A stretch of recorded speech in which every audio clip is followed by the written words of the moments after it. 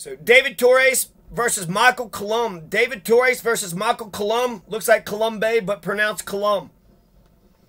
This is the Democratic primary for the congressional district, the 5th congressional district. This isn't just some state shit. This isn't just state senator, state representative. This is America. This is the United States Congress. So this is, they're going straight to the top. So they want to be a representative in the U.S. Congress. Here's David Torres.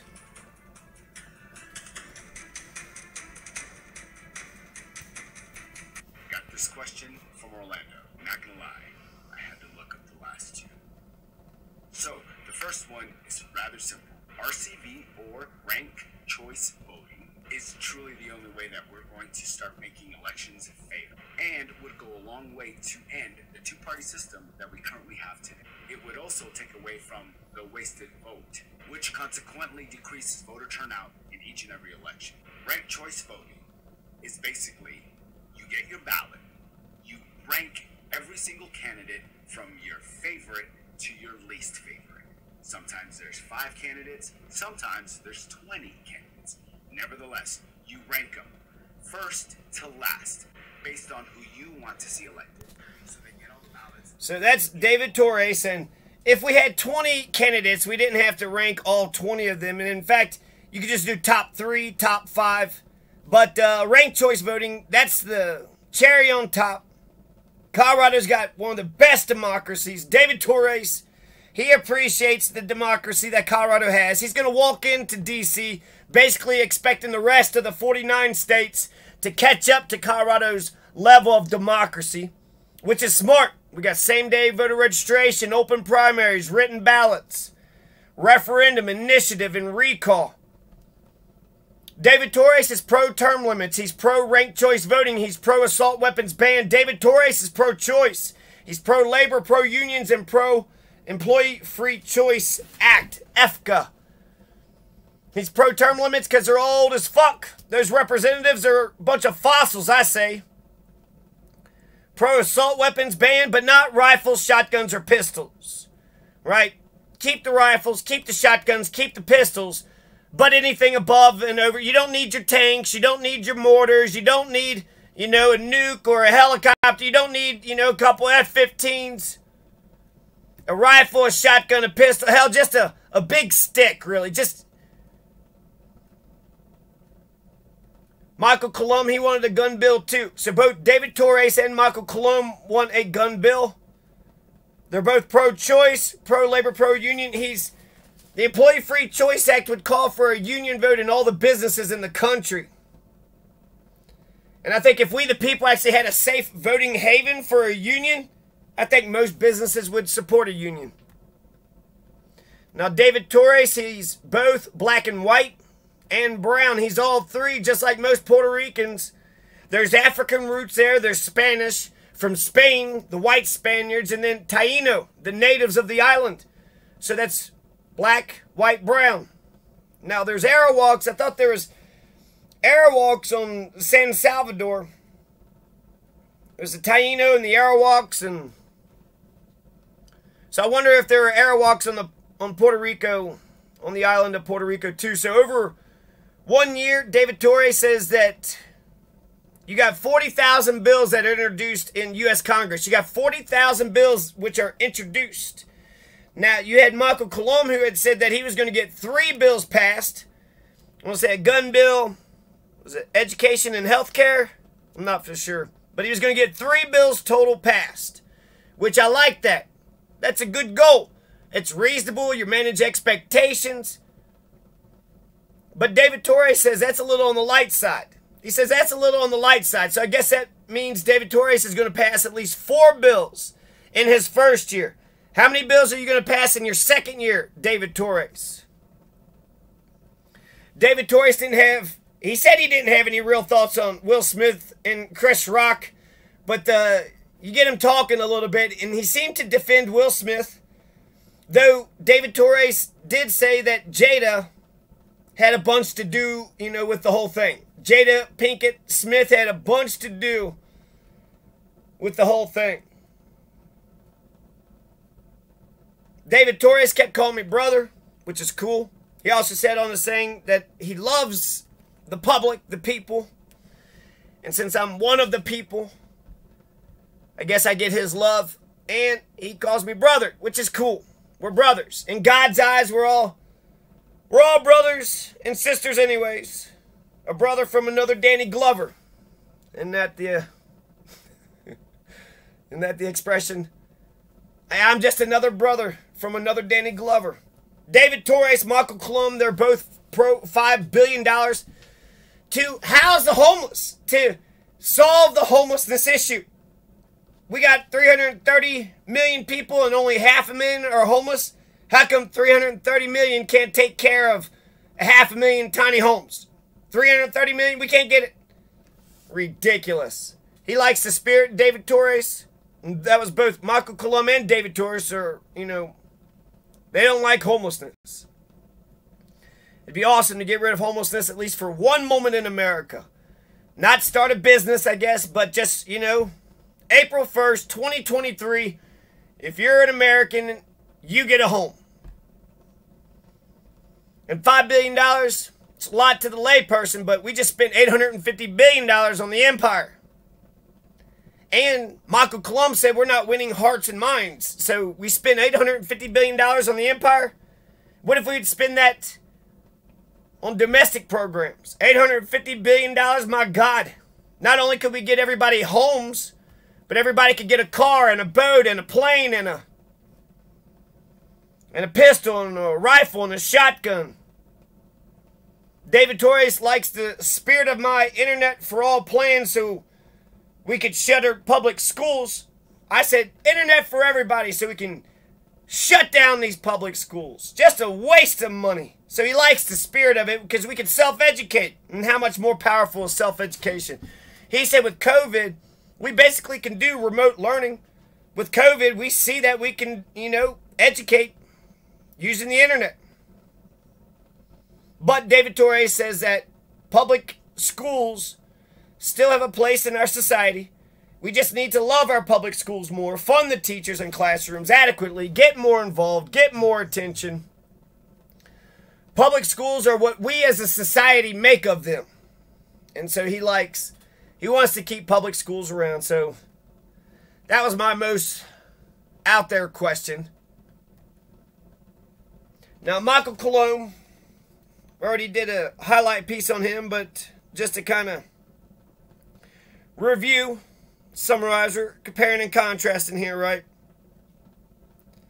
So Michael Colum, he's Mr. Navy, Mr. Air Force.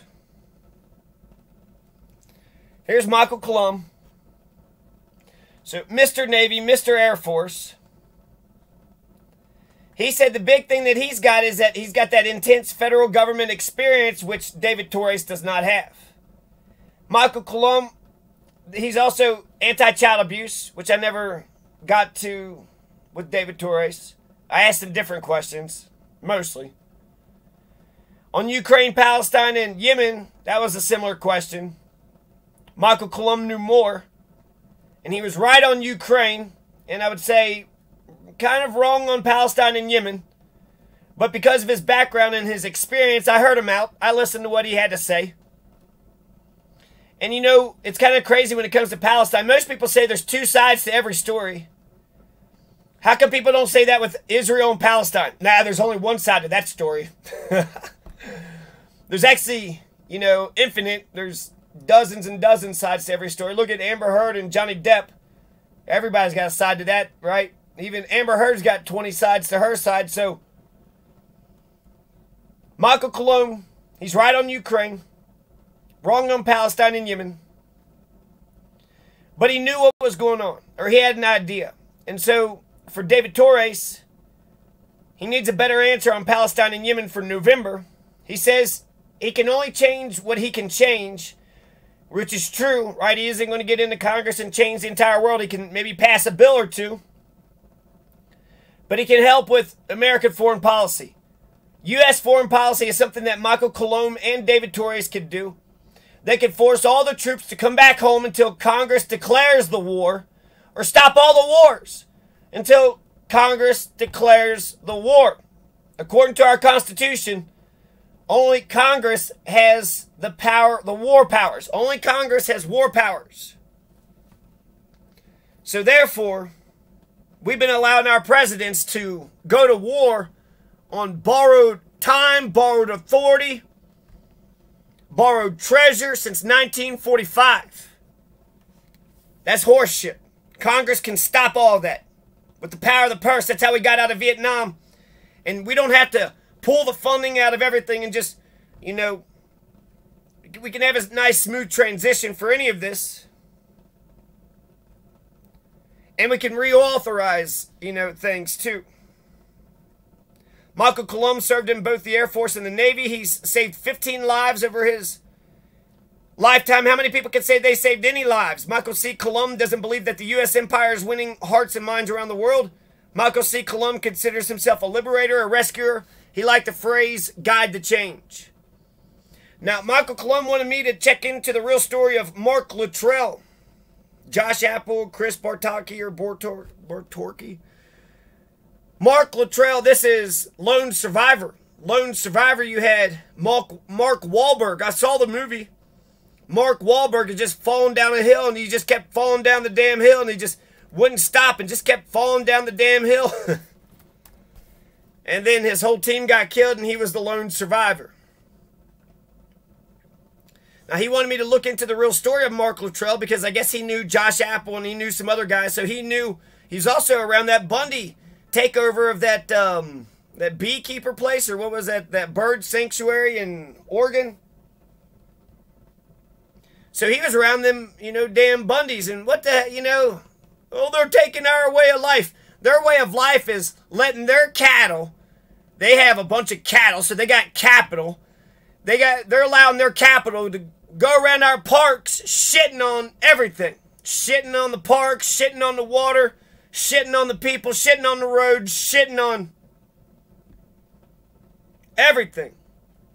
We're supposed to let the cows what? Shit on our cops and shit on our fire departments and shit on our schools and shit on our libraries and everything else too?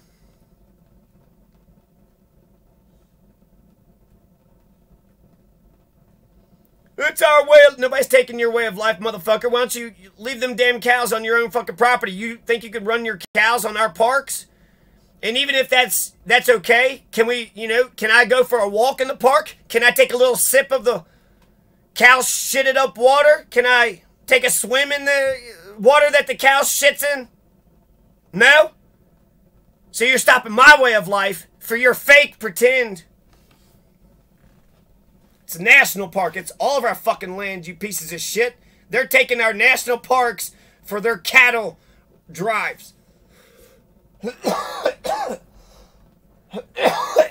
they're taking 40 to 80 to 90% of the damn water.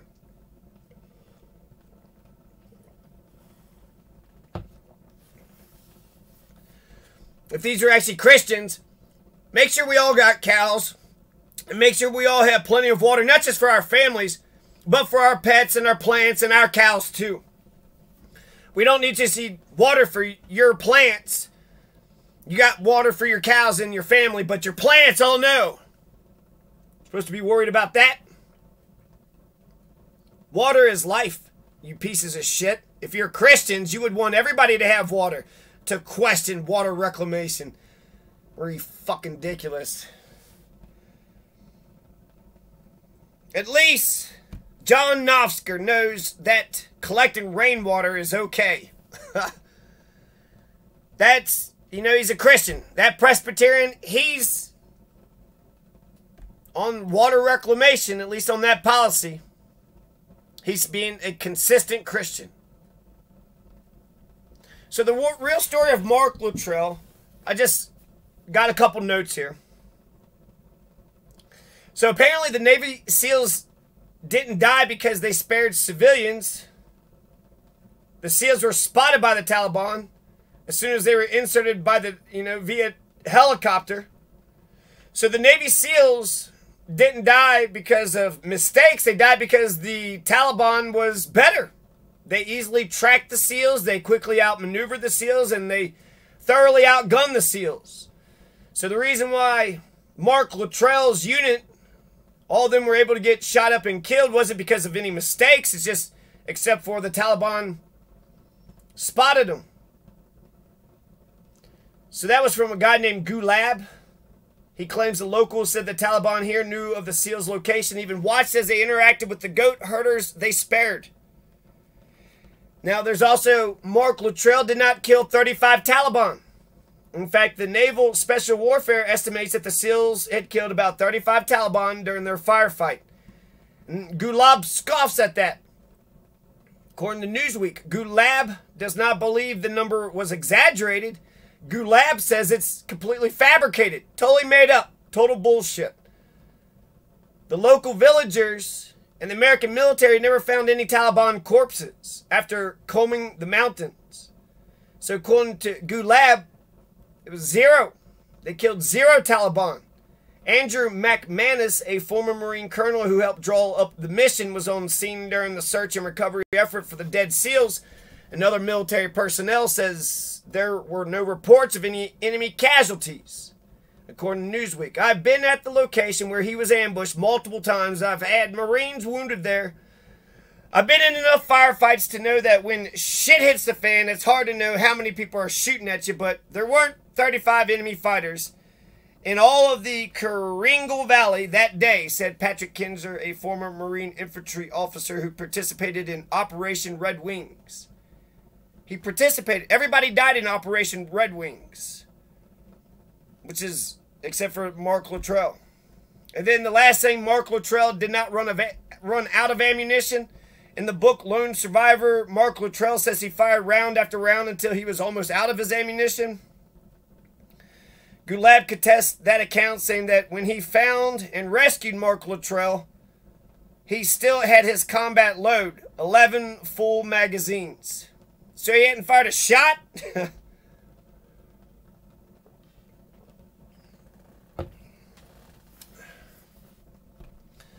so those are some um, pretty big holes in the story there. Gulab, he rescued Marcus Luttrell.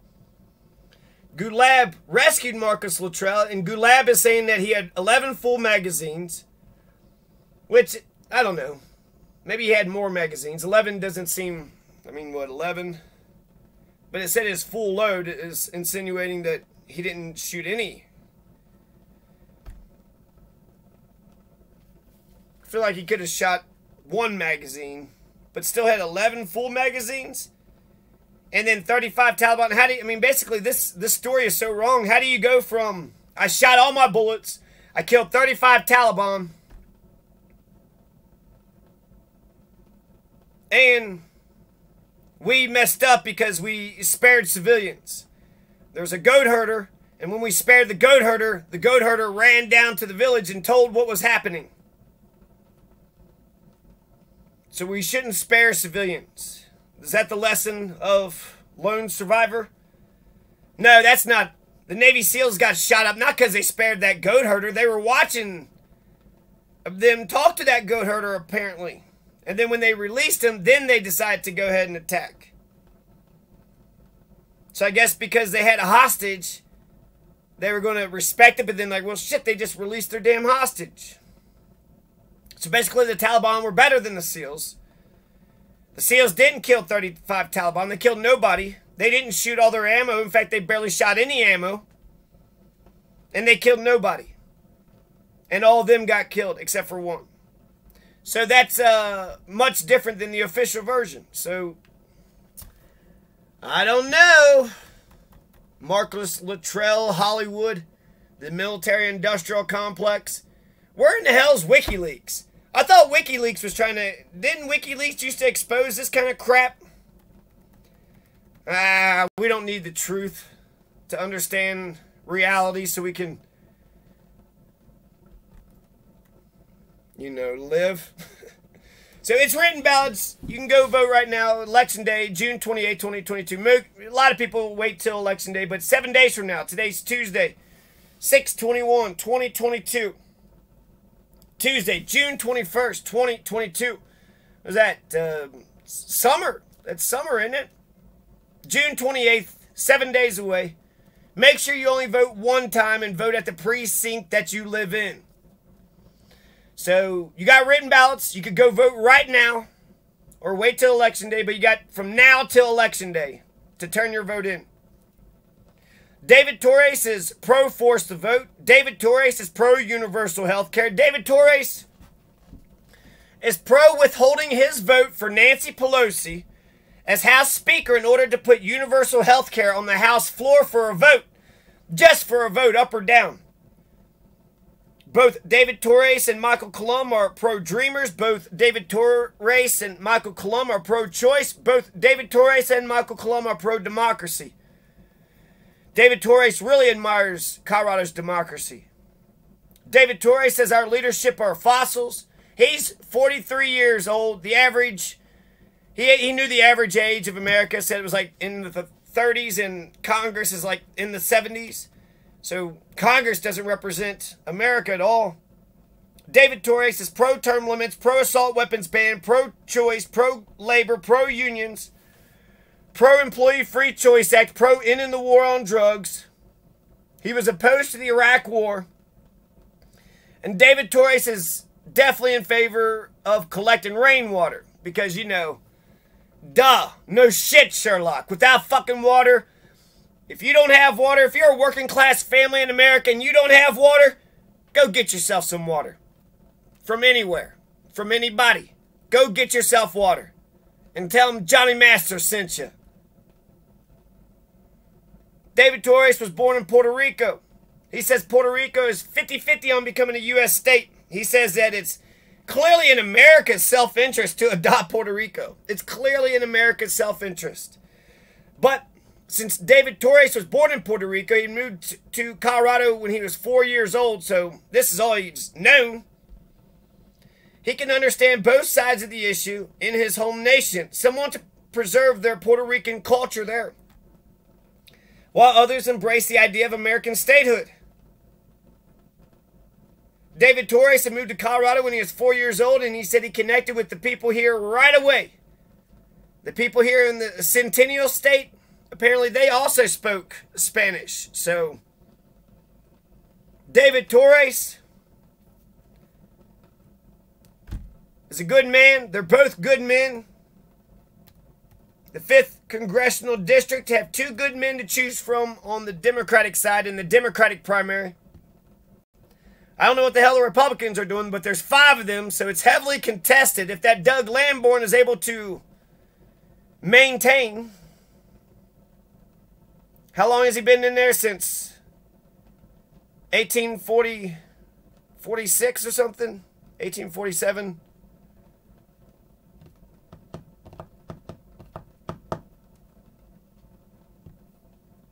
There you go. That's David Torres. That's David Torres, his policies and platforms compared a little bit to Michael Colum.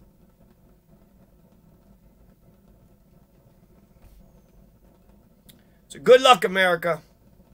Good luck.